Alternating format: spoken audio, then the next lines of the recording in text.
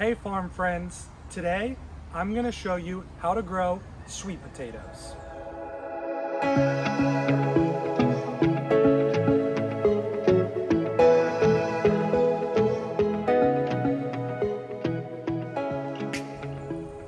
In order to grow sweet potatoes, you first need to start with sweet potato slips.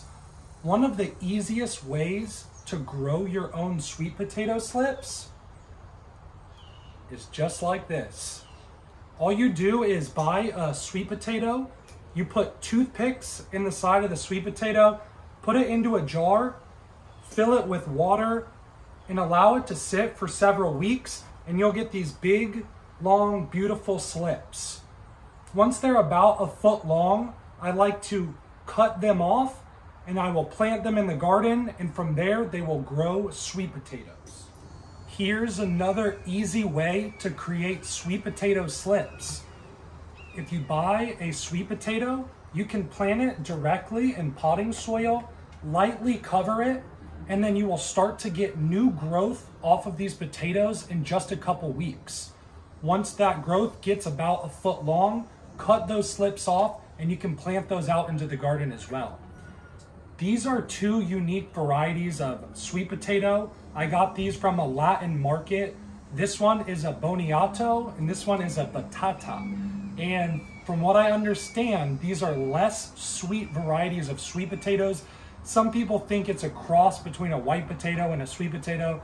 Technically, it's not. It is in the sweet potato, the Ipomoea family, but they are less sweet than a traditional sweet potato, and they have white to yellow flesh.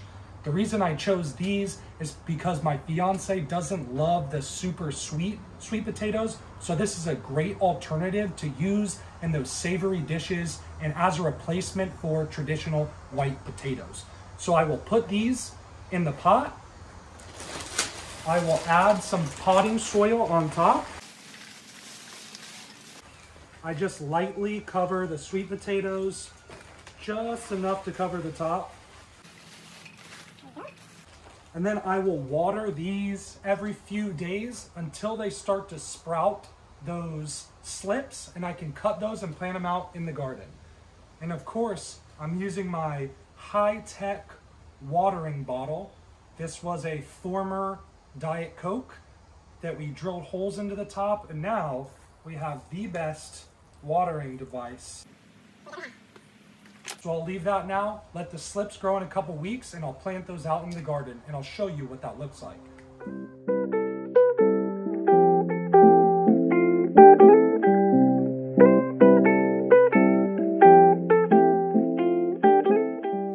All right, here we are between our canna lilies and our turmeric plant, and I'm gonna show you how I plant the sweet potato slips. So first I cut off one of the slips. Here we go, this is about close to a foot long. And I cut off all the leaves except for one.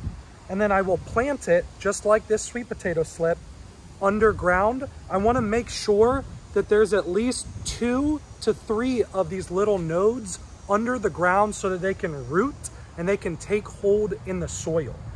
This sweet potato vine is gonna become the ground cover for this area and after three to six months, we will be able to harvest these sweet potatoes for some big, delicious tubers.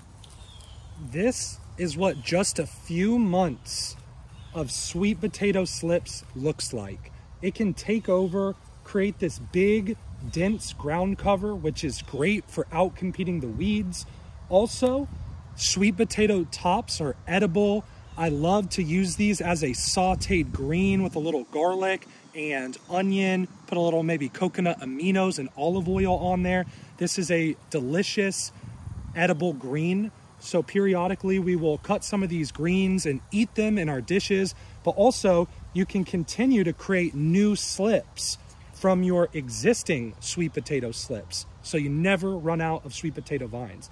And then after your three to six months, you can pull all of this back and you can start to dig underneath to harvest your sweet potatoes. There you have it. That's the simple way to create your own slips and grow some delicious sweet potatoes in your own home garden.